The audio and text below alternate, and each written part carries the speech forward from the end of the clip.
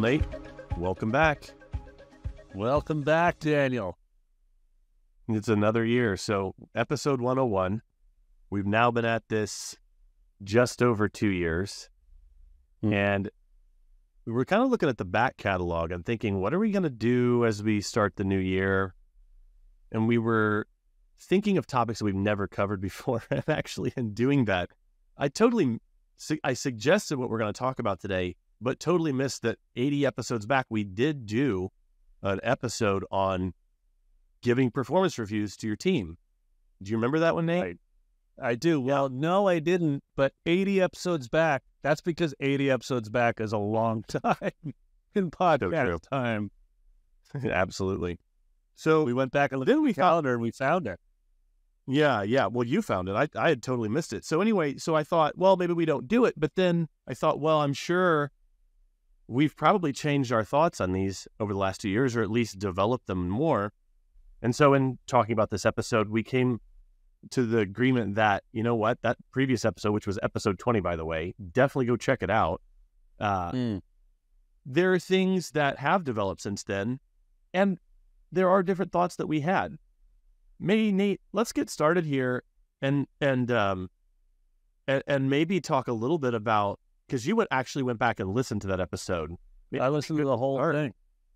Yeah, Yeah. just with some reflections on that, or or, or things that that uh, you realized in watching that. Of course, we'll do that in a second. But welcome back to the podcast, everyone. I'm Daniel. This is Nate. This is the Seven Figure Music School podcast, and in this podcast, we it is our goal to kind of lay bare the things that we've learned over the years in running our own schools and working with music school owners, even seven figure school owners, uh, things that we've learned so that you can run a fun, mission driven school. Um, having said that, Nate, maybe let's get going by you sharing some of the things that you noticed from that episode or just thought things that really stood out to you. Here are just a handful of highlights. What impressed me about this? Number one, I just loved your method, dude. Start, stop, continue. I love the simplicity of it. I had kind of forgotten that that's your version of it, and Hmm. um, I just I was like, hmm. It actually, I so enjoyed listening to you talk about start, stop, continue, and the value. By the way, I've heard that described as rose, thorn, rose. This idea, or like the compliment sandwich, like so compliment critique, compliment. I've heard like different versions of this, but it really actually made me think, and we'll talk about this a little bit more about maybe reconsidering how I do it at BMF and adopting um, your start, stop, continue method. Uh, secondly, I was just kind of blown away when you said I do this in 30 minutes with my team members. This idea of a performance, I was like, wow, that's. I struggle, as you know, because we've been doing a lot of these eps together. I really, you really have to work me hard to get me to stop talking. So I really struggle with the idea of being able to do this efficiently in 30 minutes. So I was impressed by that. Um, and I think that like another takeaway was that when at one point we were talking about how many one can handle. In other words, I brought up Mm. uh, Ben as our private lesson director, and I talked about him being the one who does performance reviews with the private lesson teachers. And it's more important that I do a performance review with him. So I do the performance review with directors. And what's interesting to me upon reflection on this was just that how hard it is to remember that. You kind of want to have your hands on everything in your company or everyone. And in reality, that's not probably a healthy way to Mm, grow team. It's really valuable, for example, for a director of your private lesson program or, um, you know, the, your school manager to be handling some of those reviews rather than you doing all of them. Um, I couple more takeaways, and then I'm going to popcorn to you and see what you thought about it um, when you were reflecting on this. But I loved how much we hammered this idea that performance reviews with your team are linked to your annual planning. If you don't have, and you said this really well in in that episode, you said if we don't have a very clear objective already stated as a company, then how are you supposed to suggest what they could do differently? That's not just about them. Instead of what we're actually talking about is what's it going to take as a team, right, to achieve this thing. Uh, This isn't like I'm not doing like a personal performance review of you, Daniel, when we do ours.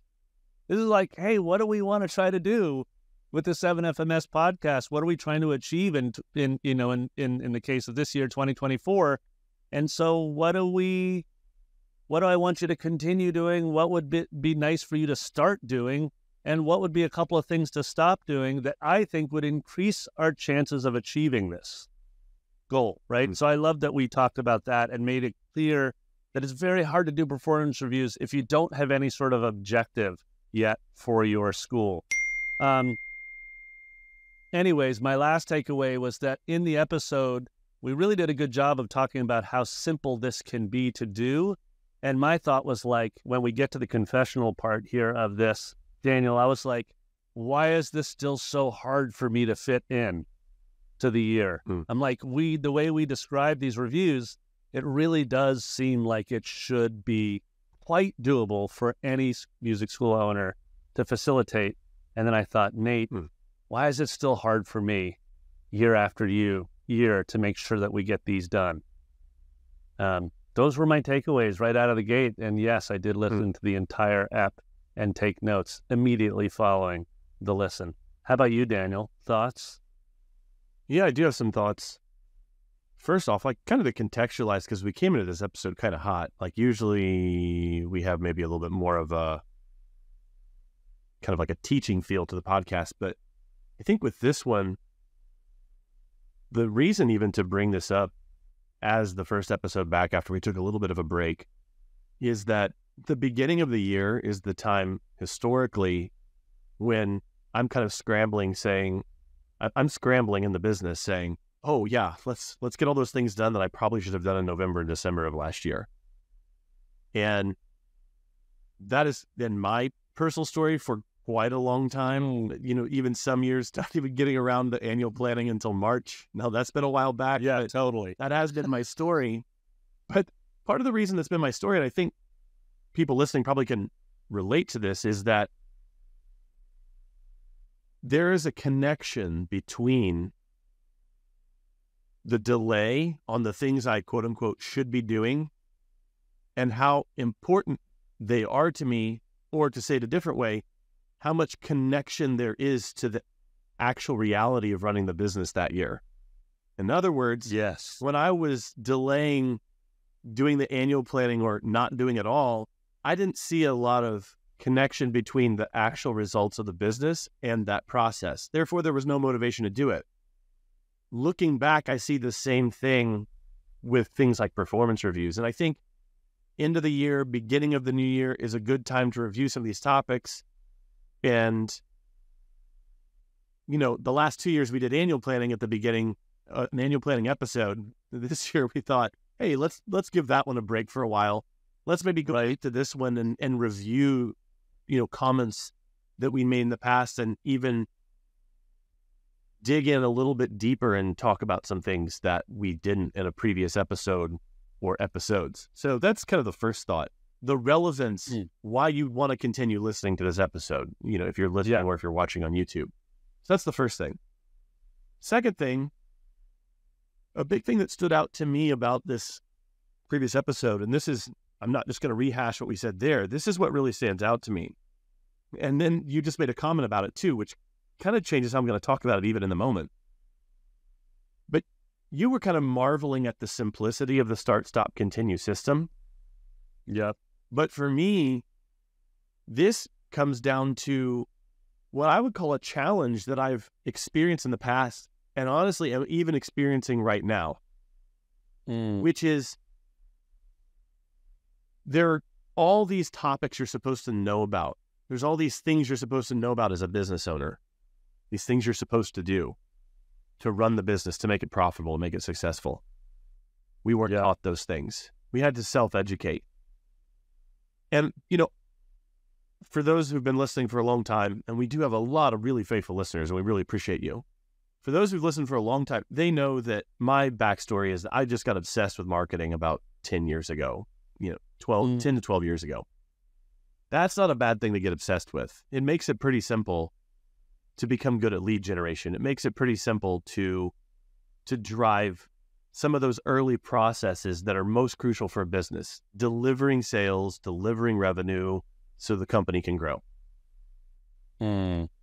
When I did that, I created this problem where I then overextended myself because now I because I made the company grow or companies because this was a pattern across a couple different projects I was involved in. All of a sudden now I'm doing way too much. And I had to shift my focus from marketing and sales to management and team and scaling and systems. Yeah.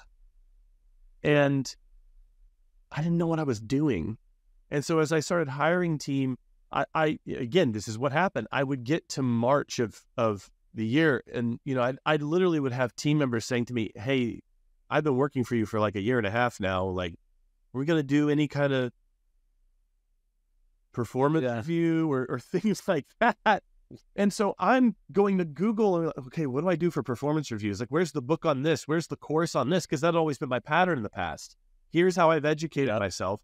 But I felt like I was really under the gun. And so as a result, what I did was did really simple things. So you kind of marveled at the simplicity of it. Mm. But for me, it was actually a reaction to the fact that I had no idea what I was doing. And it seemed to Yes. work okay.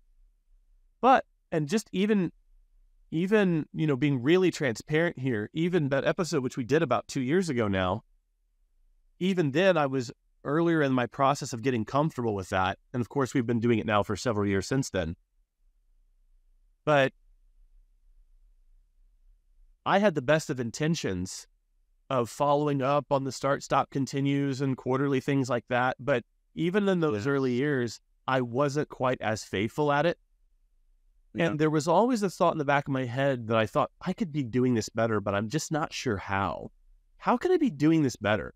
And I still ask these questions about a, a wide variety of things across the business now, including, you know, this area. And one of the things that we're working on here in 2024 is shoring up more of that team component just across Mhm. the, the businesses that I'm running, such as Grow Your Music Studio um, and the, all the team that's involved there. GroupLessons.com, which is a sponsor of this podcast. If you're looking for a great group lesson system uh, that can be run multi level or leveled, and is honestly just being really, really honest, really blunt, really a superior group lesson system to anything else that's available out there. Go check out grouplessons.com. But I'm running the Mm. team there as well, and I'm trying to make it a fun environment for people, a satisfying environment, a stable and secure environment, and one where people feel appreciated, not just in their day to day interactions, which I think I excel at, but also, and this is there where I don't necessarily excel at, Mm. uh, being really thorough in an area of the business that probably doesn't get as much attention as it needs simply because we're not yet at a stage where we have an entire HR department or an, a person is entirely dedicated to to this sort of thing.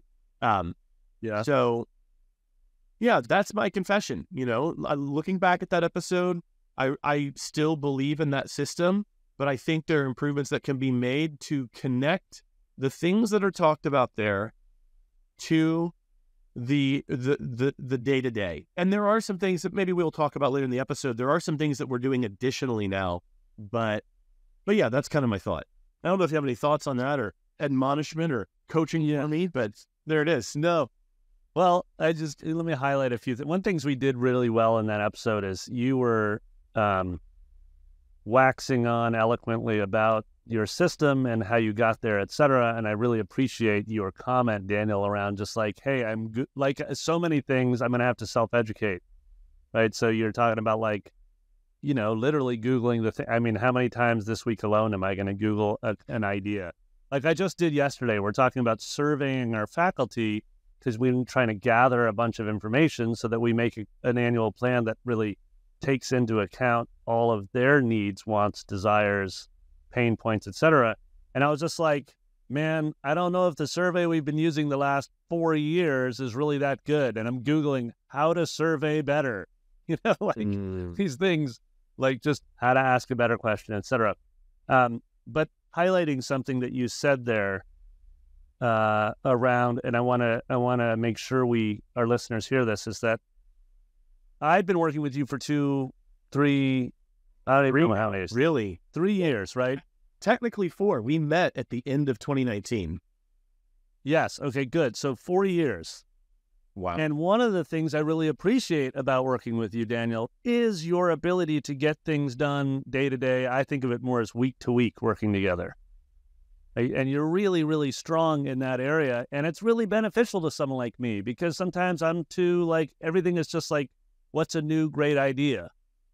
You know, and I need, I really need it. It works well to work with you to be thinking about, okay, dude, like just what needs to happen to create great podcasts for our listeners. Okay, love it. So, but I love how you're linking this to things that are actually more quarterly and annually and beyond within our business. So, for example, the HR department, there are very real pressing needs that happen in any week or month. For example, your marketing person leaves and you're like, oh, well, if I don't replace this person, guess who's doing it? I'm doing all those website updates, etc. Right? Or, you know, those things happen, right? That's part of but in actuality, generally with around HR, it's the kind of thing that you just sort of improve year each year you try to make it a little bit better. You try to make your hiring funnel a little bit better. You try to make your onboarding a little bit more um, thorough. You try to make um, and what we're talking about today, you try to implement things like performance reviews in a consistent manner so that your team can bank on getting that, having that open, transparent conversation at least once a year. You try to improve it, but you don't improve it every single quarter. It's not like every month we're just going to make this way better. It's just more of an annual thing. So I appreciate in your confessional part this idea that um, most of our time is working in the business day to day, week to week, and ensuring that we're actually getting the things done so we can deliver a great lesson to every one of our students or whatever um, your evidence of success is. Um, and I like to think of it as 80 20. 20% of the time, I'm working on those strategic goals. I'm working on what's that long term improvement I want to show at the end of this year. So I appreciate that piece of it. And when I was listening to this idea of performance reviews, it really struck me. Here's my one of my confessional points is that I have sort of in the last couple years fallen back into a pattern which I don't love, which is where I want to have my hands in everything. I want to be interested in every bucket of the business all the time. And in so doing, I'm actually, it's like I'm interested in everything, therefore I'm impacting nothing. Right? It's like, um, and so one of the ways that I can be more impactful, you know, as a colleague at Brooklyn Music Factory and as someone who coaches quite a bit is to actually be interested in just a handful of employees that I can do reviews with and coach. And then empower them, like I was saying before, to be interested in their uh, teachers or staff that they're working with. So one, that's just a micro confession right now is that looking ahead to this year and looking ahead to doing performance reviews, I'm stating out loud on the air to our listeners that I'm going to focus on fewer people that I can be more beneficial to and allow them, through the modeling of me focusing on them, allow them to be impactful with the people that they are doing performance reviews with. Right? So that's my that's my first reflection on your reflection confessional. Thoughts, Daniel? Well, you heard it here first. Don't pay attention to all your team members. No, I'm kidding.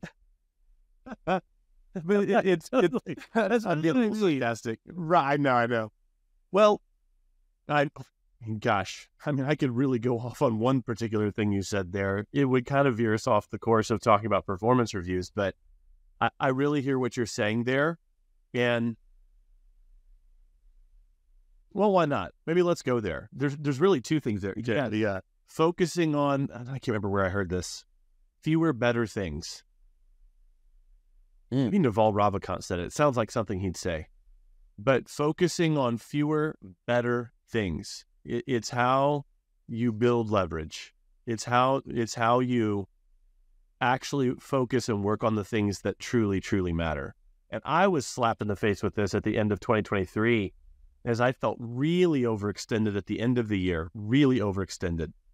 Mm. Um, it it really was hitting me in the face like in November and December of 2023 just because th- we had some really good business results in 23 in both businesses and I did find myself in that place when Peter Thiel says in 0 to 1 if you're doing the same job 6 months from now that you were doing 6 months ago um, you you are mismanaging your business and Ooh, that that, that hits hard but I I think that then goes into a second thing that I'm hearing you say.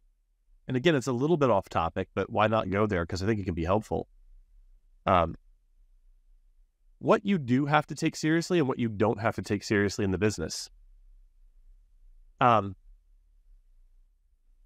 I'm just thinking about the fact that here you're talking about focusing on fewer employees and really driving your effort into those people. And I'm thinking about why is it that I've been able to quote unquote get away with maybe having a, a, a light version of a performance review system, Mm. but yet we posted some of our best business results ever in 2023. Why is that? Mm. Well, because there are areas of your business that that you can neglect, or maybe only give half power to, and and you keep the plane flying. But there are some critical systems that if you lose those systems, you're going down in flames, right? And I, and Mm. I'm really cognizant of that because you know I had some clients at the end of 23 where you know we were doing work for their school and they were experiencing challenges and those challenges were around some of those critical systems where they were really feeling the burn they were really feeling the heat. I probably wouldn't go to those people and say oh you really need to focus on your performance review system. Not when all the lights are going red in the cockpit. You don't say that this is one of those areas that you probably can do a light version of this. And when things are going well in the business, then you can take your eye off some of these other systems that you have running smoothly, put your focus here and say, hmm, maybe, maybe we get better because now we have the bandwidth to focus on this because we had all these leads contact us this month. Our retention is high. Our teachers are feeling happy. We're not having a teacher retention problem, not having a student retention problem. So now let's look at some of these systems that have been on my back burner list, or as David Allen calls it, the someday maybe list. I, I do think there are areas of business that you can kind of under, uh, up to a certain point, you don't have to focus on them as much. And this is probably one of them. Having said that, we're doing a whole episode on it, kind of. Um, and there is importance to it. I do think there, if you have team, there needs to be some version of this. But you know, maybe it's uh, maybe it's not. Maybe as simple as yeah. Well, may, just maybe it's not one of your top five systems that absolutely has to be running for your business to be okay. You know, it's okay if it's a little light. I'm curious, good because I have a different. I feel a little Mm. bit different on this. Um, but I'm curious if we were to go back to your systems that must be in place, Daniel. What would you like thinking about some of the clients that you've been coaching, some of the other school owners, and you think like, hey, let's get these top five systems to a predictive state before we move on to some back burner lists. What do you have a any version of a list in your mind where you're like, set these up first, then move on to these? Oh yeah, I think I I want to summarize this, not go really deep on it. Yeah, yeah. I think we've talked about it in some fashion many times over the course of the last hundred episodes or so. Yep. So I think everyone has to start with some sort of personal productivity and organization system so that nothing slips through the cracks. So many clients I've Got worked with it. in 23 so many clients I worked with in 23, they had they felt time poor, but they actually weren't. They just were mismanaging the use of their time. And I'd just say if anyone kind of resonates with that, just, you know, reply to the email you got this in or reach out on social media. Like I, I help clients with this all the time. And they just become these as uh, you know, productivity ninjas, so to speak. Okay, so that's one. Two, marketing and sales. Three, the product has to be good. I might actually put product at two because good product makes marketing a lot easier. Mm. So, product, mm. typically, you know if product is going well, if retention's high. That that's a good sign.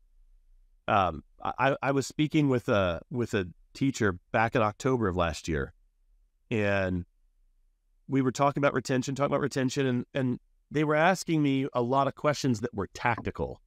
Ooh, what do we do? What do we do? What you know? And I started digging deeper than just the tactical level, and I asked them about their students' results on an individual basis, and they mentioned, "Oh yeah, well they're passing about one song a week," and I just said, whoa, whoa, whoa, stop. Let's stop talking about attendance bracelets Let's stop talking about, you know, having like parties every quarter, you know, to increase school loyalty. Let's talk about the fact that the students are learning one song a week. Mm. That, that's a huge indicator of a problem. People don't quit something that's going well. And I didn't have to mm. do a lot of that extra nonsense that has become mm. advice that's kind of standard in the industry.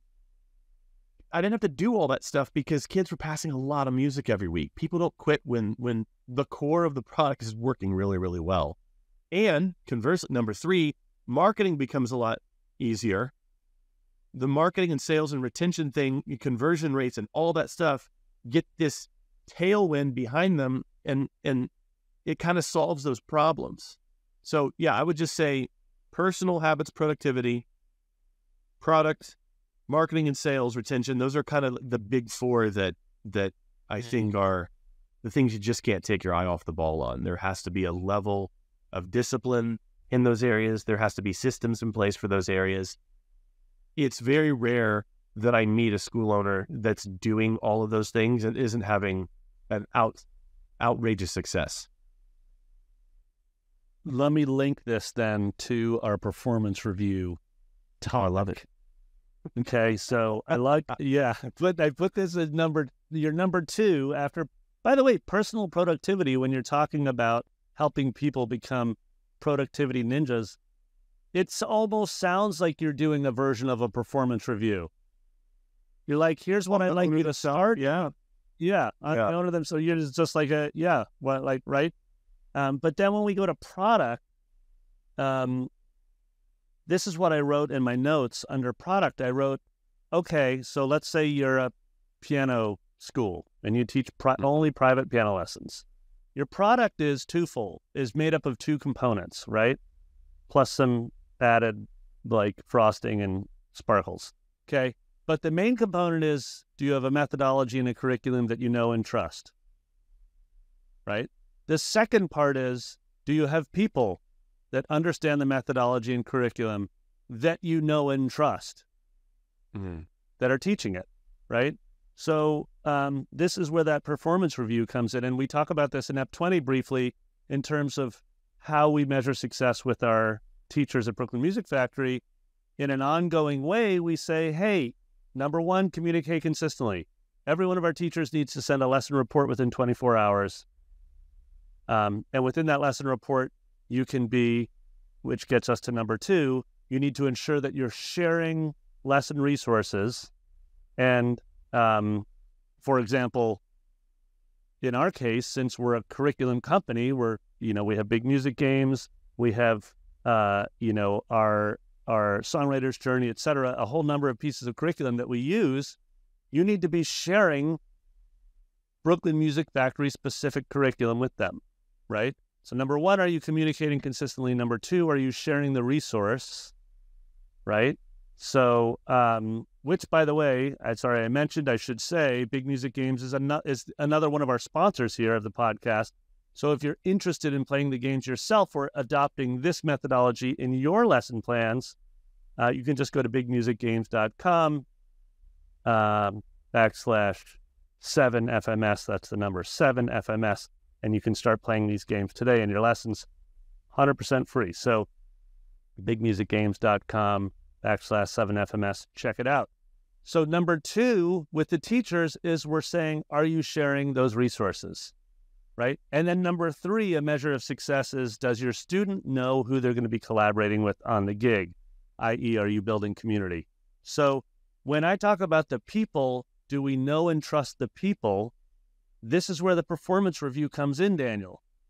We're saying, hey, it's not just here's a great lesson book, like in the in the case of um, you know, uh, in the case of group lessons, it's not just here's Piano Express, here's this proven methodology, just use it. It's ensure that you're using it in a consistent and thorough manner. Right? And that's where the performance review comes in.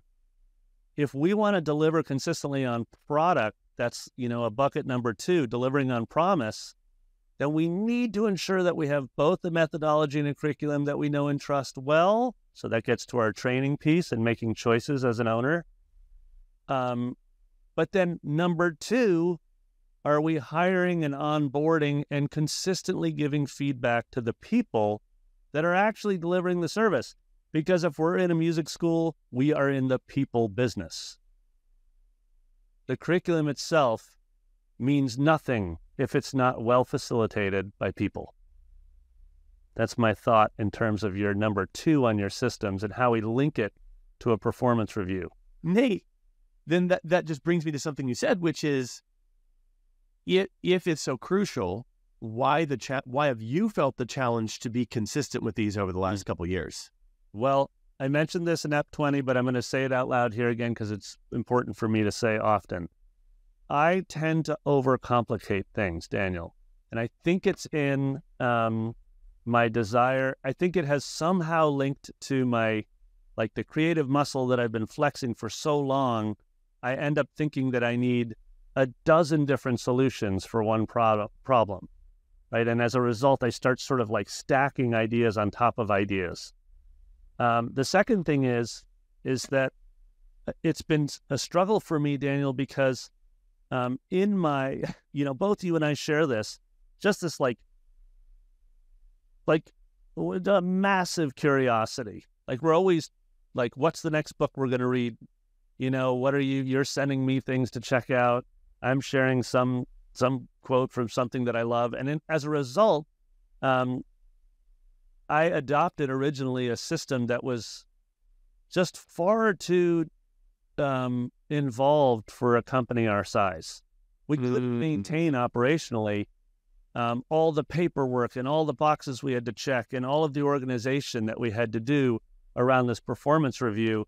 Um, and it was a 360 review where we had like, you know, 25 employees all filling out a review about one person to get 25 perspectives. And it was just too much. Wow. Yeah, it was like way more than I needed to do. And just because I learned it from some sort of corporate template that said it should, we should do it this way doesn't mean that it actually works within the Brooklyn Music Factory ecosystem, right? Hmm. This the third thing, and this is the inter- this is my true confessional moment, is that, and I mentioned that I was didn't need to do reviews of everyone. I needed to do reviews of those that I was working directly with in in our leadership team. So I'm going to include, you know, Jessica as the director of families and communication, Pira as the director of camp, Ben is the director of our private lessons. Like those are actually the big three for me. They're the ones when I lead my weekly leadership team uh, meeting, they show up, right? Um, so I here's the confessional moment is that you know Jessica's my wife. It's hard to do a 360 review with your wife that's really focused just on the job site. Right? Um, secondly, Pira is my co founder. We've been working together for 14 years, right? Um, ben also was here on day one that the school started. So, in truth, there's a little bit of me that's like, uh, we already are so open with one another about different things. Do we really need to do this formal review? And part of that, um, you know, this is like the coaching moment. This is where you'd be really, you are beneficial with me. Is that there's a little aversion there. I'm like, I'm kind of avoiding, avoiding the thing. Oh, wow.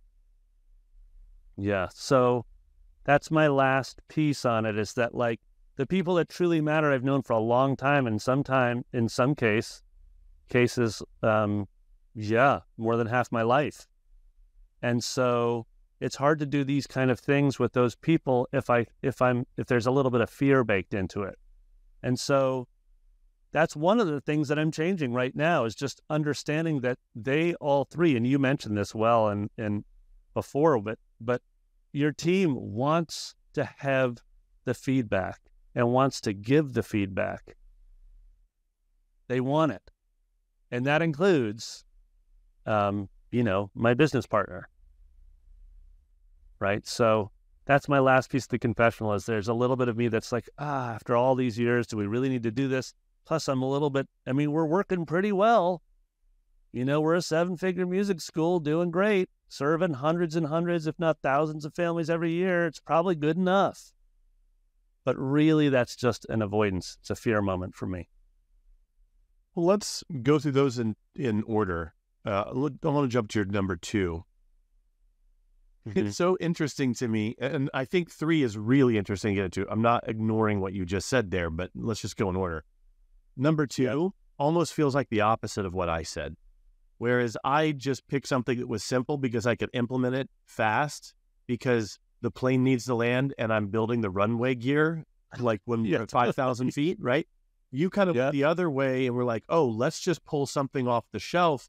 And there wasn't a, there wasn't, it wasn't a good fit for who you were as a business. And yeah, I'm not going to sit here and criticize a decision you made, you know, five, ten years ago. I just want to point out that there's nothing wrong with picking the wrong marketing system, review system, annual planning system. Do something, and then you're going to learn a lot yeah. by doing the wrong thing, and then you, you then you know better what you're going to need for version two. It just always works that way. It's almost so cliche. I feel embarrassed saying it again on the podcast, but yes, I keep seeing the same problem come up with clients week after week, month after month, where they're you know they're pondering, they're they're delaying, they're trying to find the perfect solution. Heck, I was guilty of that in 2023 more than once. So I know it's an ongoing encouragement and admonishment that we all need. Mm. I would just say that, you know, Daniel maybe went a little underpowered, Nate went a little overpowered. There's probably something good in the middle. And I would just say mm. to, to kind of go back to what you said about getting things done. I don't yeah. use David Allen's full getting things done system. There are aspects of his system that weren't all that helpful to me. And then there are aspects of his rule set or his guidelines for in the system that I've actually gone even deeper than what he suggested because I fit it for who I was as a person. I think you can do that for the performance review system mm. as well. I just wanted to point that out that there is probably some happy medium, and either A, you can get it out of the box, or you can take like 80 to 90% of something that works for a business of your size, and then with use, you get a little bit better at it. So that's, I think, my address mm-hmm. for number two there. Number three, this aversion to doing reviews around certain people in the business.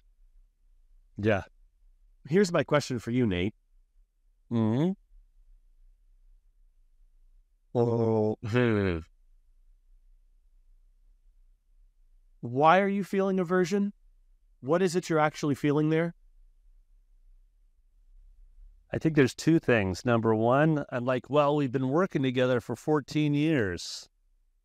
Right. Surely we already know everything about one another and how we operate. We're just going to hear the same thing again, which I know is right. ridiculous because we're always changing and growing. So um, that's number one. But then number two, there's a little bit of like, truthfully, Daniel, there's a little bit um, of I don't want to rock the boat too much by giving a stock to the, yeah, giving clear feedback to them. I can certainly take the feedback and welcome it. At least I, at least I think I can. Can challenge me on that after I get it. But um, but there's a little bit of me not really wanting to give that feedback um, because there's such a long-standing, trusted member of the team. Like, what if I rock the boat too much? Okay. So the first So- version, would you say it's one of efficiency, where you kind of feel aversion because it's like, oh, we don't really need it; it's a waste of time. W- w- Is that a good description of the first aversion? Yeah, efficiency because I'm. Well, what if I just hear the same thing that, that we shared last year or the year before? It's probably, don't we know one another so well? Let's just save the time and just keep getting stuff done because we're just going to hear the same feedback. Got it. Okay. The second aversion, would you say that that's what? Well, I mean, you actually called it out. You said, I don't want to rock the boat too much. What's interesting about the two of those together is that Mm. it would seem to me that Hmm. with ongoing meetings with each one of those people where the objectives are clear about what the business is supposed to do, an annual review probably shouldn't bring something way out of left field. Like there shouldn't be a stop that Right. suddenly got brought up at the annual review.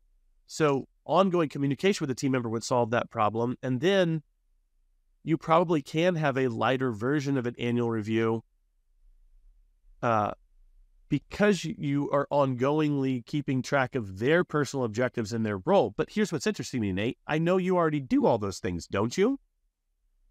I do, but it's what's cool about that last point, Daniel, is it's making me think maybe in my ongoing weekly leadership check-ins or my monthly, like how's our, how you know, uh, progress on goals. Maybe I'm not actually addressing those in quite the right way.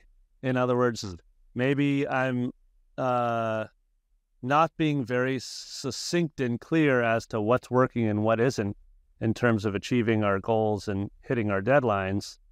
Um, and so as a result, I'm actually sort of muddying the waters month to month. And then when it gets to the performance review, almost Daniel, like I have to save up for the annual review to say, how come we didn't hit that deadline? I want us to start hitting deadlines, right? So it's interesting because your point is making me con- reconsider some of our project management and how I'm leading those meetings monthly in terms of like maybe I'm missing something there. So just to sort of state the obvious for our listeners, what I love about it is that this performance review, as you mentioned before, is linked so closely to your annual plan and how you're progressing on it that we can really learn about both sides of this this coin. You know, it's like Okay. two sides of the same coin. You know, how Right. people are performing and what your plan is around what you're trying to achieve with the people. I think this is a good place to bring this full circle and talk about the specifics and then even some things that I see on the horizon as things I want to add to the system. So, one, with my people, hmm. I do have, especially with the most important ones, so to speak, I have weekly meetings with them. Yep. Two, they owe me a list at the beginning of each month of what their objectives are for the month, every month. And they're Yeah. they're telling me. And that allows me to compare that to the business's overall goals, which we decided again as a team at the beginning of the year. And it helps me align it with developments that have happened in the business throughout the year. So that's that ongoing check in piece and the clarity of, oh, you've got to write this down and you owe it to me. There's a deadline on when you have to get that list to me. Additionally, I have quarterly check ins. And again, this is all just automated within our task management system. I don't even have to prompt them for this. It just shows up quarterly for them where they answer six questions every quarter about decisions that need to be made, unacceptable things they're noticing in the business. Um, you know, uh, well, I'm not going to get into all that. That could be its own episode. But Certainly. there's there's just this ongoing communication and accountability to the larger goals that's happening throughout the year. And then let's just get back to the idea of what should be on the performance review. I think start, stop, continue is a little underpowered, where I'm seeing a failure in in this is what's the connection between a performance review and how they're compensated. We haven't even talked about that in this episode up here, mm-hmm. but how do I know how well they're performing? And where I feel like I've done not done as well is what are the actual categories I'm measuring them in? And I think mm-hmm. that's where we, well, what's important to us? You know, is it, uh, and I think that's going to be personal to each organization. But I know for us, since we're a distributed team, communication is really, really important. I'm going to be rating my employees on how well they communicate, how fast they get back to me, like those sorts of things. How well are they doing their mm-hmm. projects? You know, stuff like that. So that's where I'm spending a little bit more time thinking like, okay, how how do how do I measure that so that we don't get to the end of the year and it's just like, okay, I guess everybody gets a raise, you know? Um, mm, yes. How how do we measure? So actually, shocker. Hey, 50 minutes in, how are we actually measuring performance? you know, um, so I, don't know. I think some of the things I said there kind of address the issues that you were talking about, especially on your point three, but then also yeah. actually letting everyone listen who's listening now that we're this deep into the episode actually tell them like hey here's things that you should be doing throughout the year that make the performance review time not this monumental monolithic event that feels really heavy and feels uh, really out of the ordinary. No it's just another meeting and maybe there's a little more weight on it but no no no team member or employee should get to the performance review and be shocked by something that you say. Yeah, should have been coming up throughout the year. They should be able to self-assess their yes. own performance and know what's going on. You know, I'm I'm rereading a performance improvement plan from 2017. I just pulled up out of my G Drive, and um, and it says um, per, performance improvement plan. What objectives do you plan to tackle? We said this quarter, but that's the overcomplication. Should have just been this year. Please name each one and do not exceed four. And so in this case, um, this person named, you know, uh, be a servant, lead by providing tools and systems and inspiring for use and implementation. Okay, well, that's pretty abstract. So then what are the three action steps you're going to do for number one? They wrote, I will host and record two webinars per month I will record one department mini clinic per week, and I will attend 15 minute weekly check ins with PL faculty. So back to you, back to your comment about how do you measure performance. What's amazing, so this is 2017. I just pulled up a PDF of this, and it was written by this by the perform the person who was designing their personal improvement plan. I can simply ask in my check-in with them monthly, well, how's it going? Are you able to take those action steps? Were you able to attend weekly 15 minute weekly check-ins with your faculty with the faculty? And if they're like, no, actually that's way too much, then that's a conversation. Right. So I think like these shouldn't be a surprise. It shouldn't be at the end of the year I ask how did it go?